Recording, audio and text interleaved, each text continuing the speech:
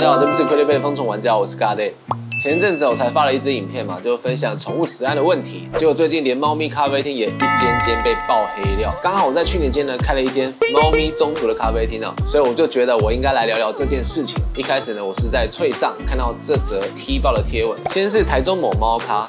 后来连新北某猫咖也疑似有问题，不过已经有许多热心网友分享转发，动保处收到消息后呢，也立即介入。而我最近也收到了不少私讯，希望我能够协助曝光这些不良店家。但我必须很直白的讲，这些与收证相关的事情呢，并不是我一介庶民哦可以做的，而是要让公家机关动保处介入，因为他们才有公权力，才有办法依法办理。所以这支影片我并不会去整理黑心猫咖的懒人包啦，大家有兴趣呢，就上网查关键字就有了。然而这些风波事发之后呢，我就看到有人发文说，现在看到猫咖都不会想要走进去，他们会觉得多数的猫咖对猫的方式是不好的。那我看到就会觉得，不能因为一颗老鼠屎就把所有猫咖都拖下水吧。所以我拍这支影片的其中一个目的哦，就是我也必须出来为其他同样用心对待猫咪的猫咖讲一点话啦。也希望同业千万不要气馁，只要你是用心对待猫咪跟顾客的老板，也一定会吸引到许多的支持者。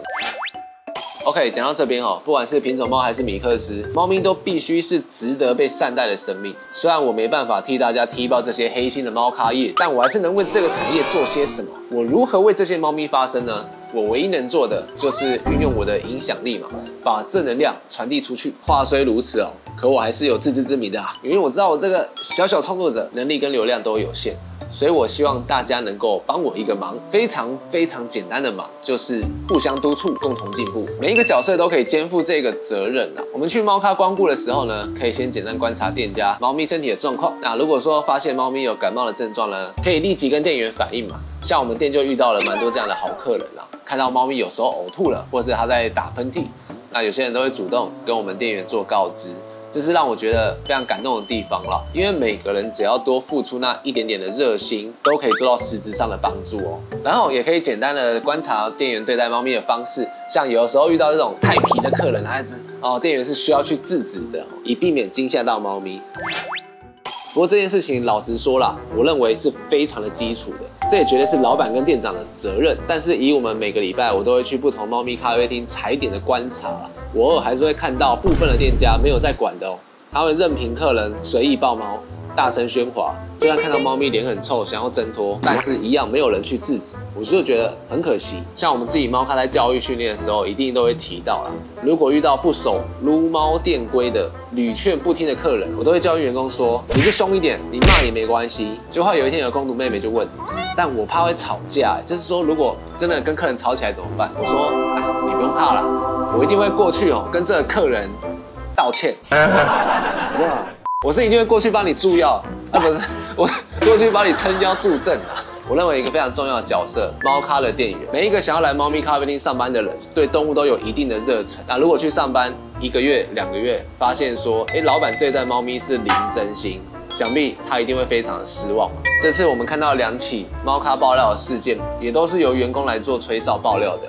虽然有的业主说呢是劳资纠纷，说是前员工假怨报复，听到这句话哈，我就觉得似曾相似。所以员工呢是最容易检视店家的角色。这虽然不限于猫咖哦，但是宠物咖啡厅却格外重要，因为许多宠物咖啡厅就是透过动物在盈利啊，就连我们自己也是嘛。但我并不会觉得说透过动物赚钱是不好的事情，前提是你既然要透过动物赚钱，你就应该要给动物该有的生活福利。如果说你没有照顾好这些动物，只会觉得哎，猫咖看起来好像很好赚呢，我要当个跟风仔。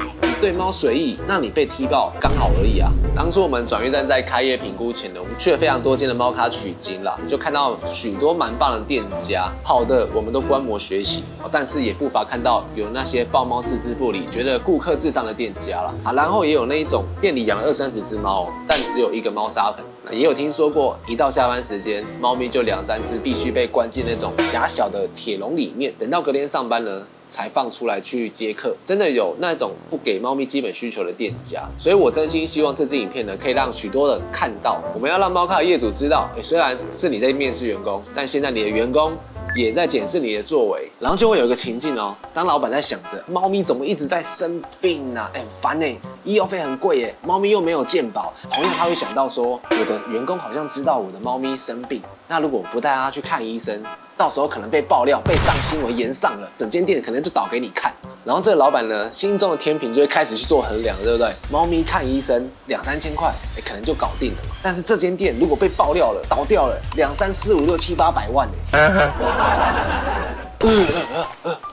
我还是带猫咪去看医生好了啦，对不对？他就会有这个想法。就是我要把这些思维渗透到每一个员工跟老板的心里面，让那些心里不是真心爱猫的老板，也得为了怕店里被爆料而去做对猫好的事情，借此把猫咪照顾的健健康康嘛。说不定因此哦，出现一些这些猫咪照顾很好的那种五星评论啊，这些店家的生意做得更好了。不过也顺带一提啦，猫咪如果生病了，就应该要循正常的管道看兽医，而不是用一些奇怪的偏方哦，这可能导致猫咪生病的更严重，甚至会有一种哈味。不知道这次猫咖的事件哦，让猫奴对猫咖业者印象分扣了多少？但还是有非常多用心对待猫咪的店家存在，甚至有那种只思考着能活一天是一天的中途店家。因为如果倒闭了，那这些猫咪该怎么办？因此哦，为了巩固这些良心猫咖的护城河，我开了一个脸书的社团以及一个赖的社群。我先讲哦，赖的社群哦，这个社群是所有猫咖爱好者都可以加入的聊天群。不管你是住在哪边，也都欢迎你加入社群，因为你可以推荐平常你的爱店给大家，让所有猫咖的爱好者及猫咖的业者共享这些资源。我们可以一起去支持真心对猫有爱的店家，也因为如此哦，店家也都该受到消费者的审视。只要呢不是恶意的抹黑评论，猫咖店家都得受公平啊。就算是我们转运站也一样嘛。如果我们真的有服务不周的地方，我也会请同仁尽快调整改善。总之，我希望这个群主到时会有一个整理好的表单，把猫咖做地区跟性质的分类，可以让想支持猫咖的爱好者哦，都能支持到对的店家。好，再来讲脸书社团，这个社团是专门否猫咪咖啡厅老板的社团。不得不说，从去年开始哦，就有好多新开的猫咪咖啡厅雨后春笋而来，哎，真的超级多。所以啦，只要你是猫咖啡厅的老板，或是宠物咖啡厅的老板，有没有？狐獴、狗、草泥马、鳄鱼、老虎、水豚。好了，你表演够长了。还有那种宠物美容老板，都欢迎你加入这个社团，互相交流啦。尤其养猫知识的分享、猫中途经验、青训的分享、疾病的讨论，或者是创业交流、经营讨论等等，我都欢迎各大老板加入，友善交流。总结一下我创立这些社群的用意。我希望能够让台湾所有的猫咖做到流量整合、客群共享，因为猫咖的 TA 基本上都是一样的嘛。当然，我也相信有那些值不好的猫咖哦，会慢慢被淘汰。而我希望最后能够留下来的，都是真正愿意善待猫咪的店家。我也说说我自己啦，去年四月底以猫咪中途咖啡厅为出发哦，到上个月也刚好满一年了。我必须说，猫咖啡厅只要再加上中途这两个字，基本上就是在做公益，要赚钱真的是难上加难。但老实说，就我的观察，大家还是比较容易被品种猫咖吸引。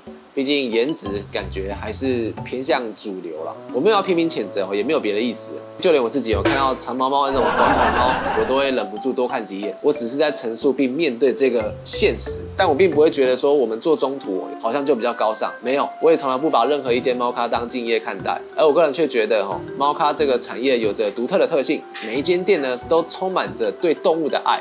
而这种有爱又有理想的人，才会下定决心开一间猫咪咖啡厅嘛。所以当我去踩点的时候，我只要遇到跟我理念相同的中途店家，我都会主动用我们猫咖的社群账号发现动分享店家的资讯，推荐我们的受众去用餐。我同事会觉得我傻，干嘛把自己辛苦经营的粉丝分享给别人？但我就是觉得我，做猫咖，尤其是猫咪中途的，每一间都非常的辛苦。因为我们做猫中途咖啡厅的最终目的是什么？不就是透过餐饮的营运，让猫咪可以找到幸福的家吗？如果来我们转运站没有找到缘分，但是在另一间猫中途咖啡厅找到了，那不是也很好吗？所以我真心希望大家可以多多来中途猫咖支持哦，因为我也敢说，台湾所有的中途猫咖绝对不是求赚钱，但是只要你让我们能够活下去，我们就能帮助千千万万只猫找到家、找到爱，一起为这个社会做公益，尽一份心力啊！有机会来用餐找缘分吧！我是风宠玩家的尬店，也是转运站的铲屎长，我们下一次影片再见啦，拜拜！他流鼻涕啊！真的，我们先帮他擦个鼻涕哦。他现在就是有一些呼吸道问题啦，我们已经在治疗中。小六呢，也是我们在中途的猫咪，欢迎大家来跟他互动。但它是非常亲人的猫哦。